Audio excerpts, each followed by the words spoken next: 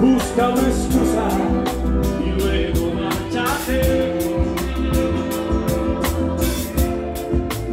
Porque de mí.